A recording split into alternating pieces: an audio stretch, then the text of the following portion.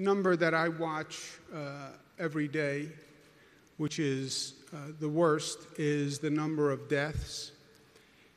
That number has remained uh, obnoxiously and uh, terrifyingly high, and it's still not dropping at the rate we would like to see it drop. It, it even went up a little bit 299, 289 the day before. So that is bad news. 276 deaths in hospitals, 23 in nursing homes.